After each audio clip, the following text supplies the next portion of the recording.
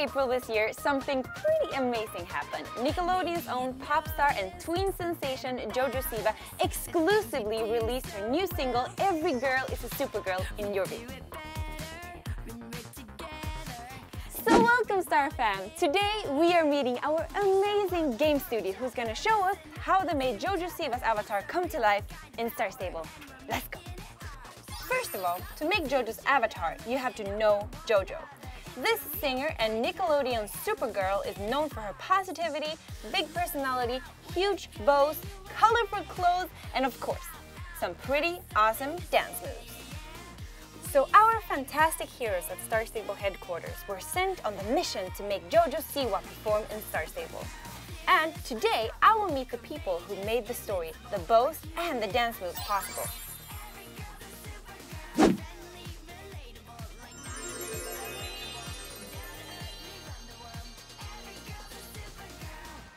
Hi Hi. How are you? I'm good. How are you? I'm very good. I'm Nice. super duper curious. What part did you have in making Jojo Siwa come to life in the game?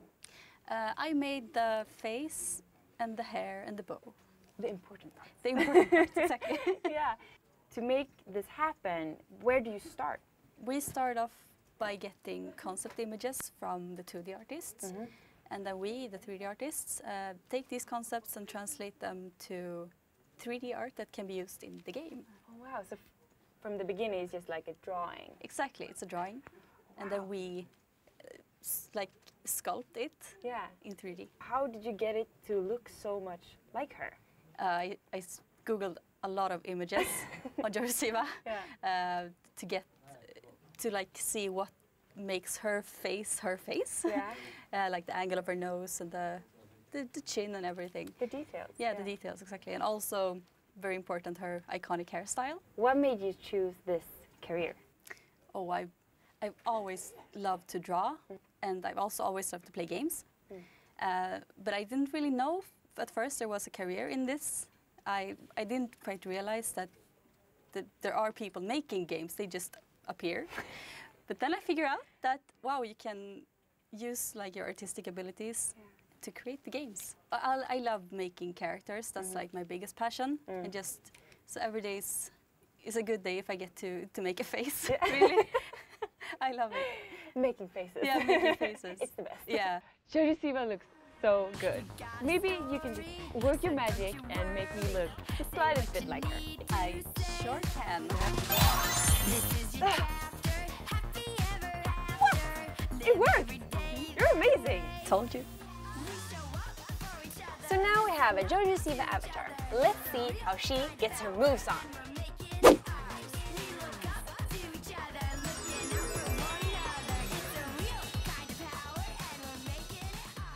Hi Eric.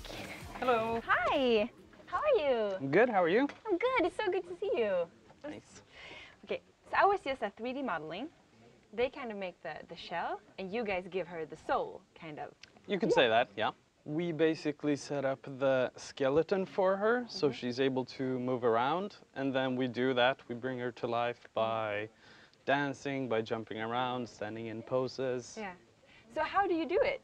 For these dances, we were over in Uppsala and we shot some motion capture with some dancers who were in a big room with like sort of ping pong ball suits on. Yeah, yeah, yeah. a lot of cameras, and we recorded their moves and basically brought them onto JoJo's avatar, so we can see her dancing around here. That The- is so cool. So this is a real person dancing Yeah, basically. in real life. Yeah. What was your favorite part in doing this project? Um, it was really fun to make the hair flop in the end. Yeah, because that's a detail that's really noticeable. That Mm-hmm. her hair is like, like in real life, super lively. Basically, the motion capture data just brought onto the avatar that Josephine made, so we mm-hmm. haven't ha- added any facial expressions or simulations on the hair. Oh yeah, yeah, So this is what it just looked like when we brought it in, and then we need to go through each frame and check, like, oh, for instance, here, her hand goes through the hair, which we don't want. No.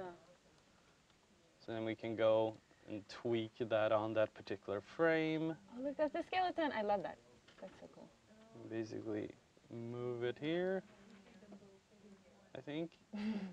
Oh. A bit to the side. Oh. And that frame is moved. Yeah, basically. So now it should be fixed here on that particular. That, so they yeah. basically we go around uh, changing stuff that doesn't match our avatar in the scene. Did you do your Josephine, like go to YouTube and watch her hair flip? Uh, a little bit, yeah. Mhm. Um, but mo- mostly we, we check like try to get the personality of JoJo in there. Like she's very hype, so it's a lot about you know big movements, Yeah. pointing. So this is her face, kind of like the Yeah, squares. basically face controls to change the shape, and you can sit around all day like make silly faces. But how did you come to work in this area? Why did you choose this career? Uh, I started studying more towards films and movies, but sort of headed off more towards games and made a sort of career shift in, into games because I just find the both the part of the visual storytelling but also the interactive medium of it really amazing. Yeah. Yeah. And let's talk about the poses because I think those are really cool. How how did you also have a dancer doing those poses or are those handmade? Those are handmade based off the references we, we looked at JoJo standing and mm. doing poses basically. Yeah. I got answers to all my questions. Awesome. You're awesome. Thank you so much. Thank you.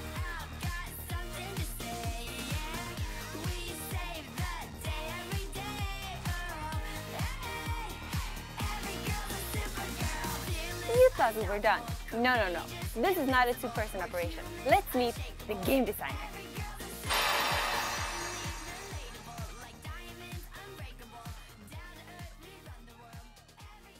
Hi, Leila. Hello. How are you? I'm I'm great. You're great. Yes. That's awesome. Are you ready to tell me everything? All the secrets. All the secrets. Yes. okay. So I see you kind of like the goddess of Star Stable. Worship me. Should that have more pu- pondus? Like worship me. True, exactly, exactly. But how would you describe your position or your part in this big team that we have here? The designers, uh, the designers really make everything come together. Mm. We're like the director of a movie. We have a vision of where we want the game to go. Mm. We decide what we what is going to happen, and then everyone else in the team creates the parts, and we end up putting them together.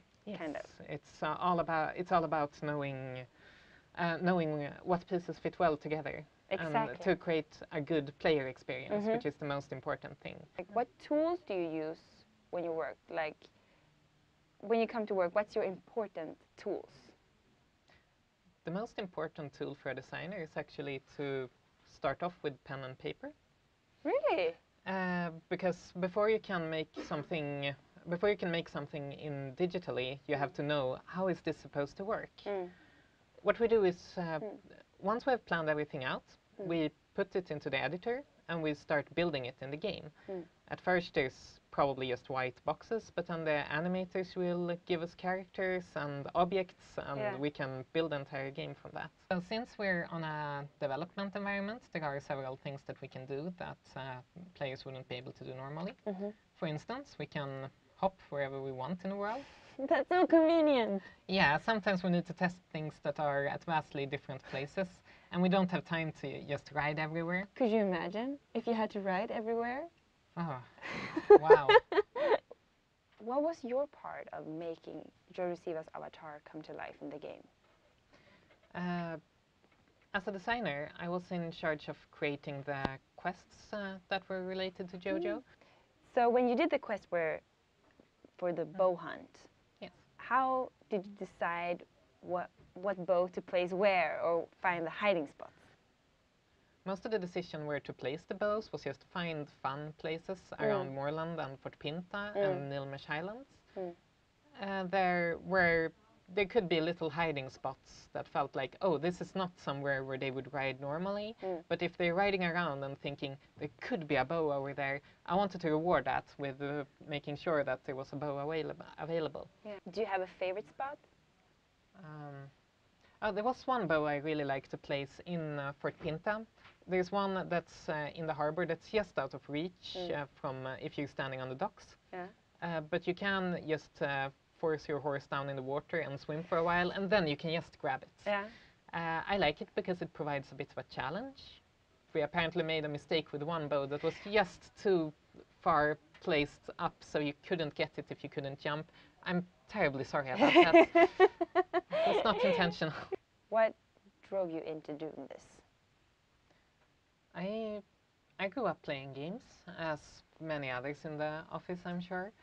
But I never really realized that you could work with it at first because it seemed so distant. Mm. So I was having a discussion with my job coach, and for some reason we got into talking about games. Mm. And then he just said that, but why aren't you working with games? And I was awestruck. I was like, you can work with games?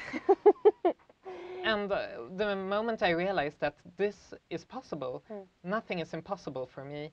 I can reach for the stars and I can go there. I, I love my job. I, I love being a game designer. This is what I want to do. Yeah. And uh, I think it's I think it's great that we have a we have a fan base that are very are very vocal about what they think. So we get to hear from them fairly often, and uh, it's really fun to hear what they want as well. To everyone who wants to be a game designer, start today.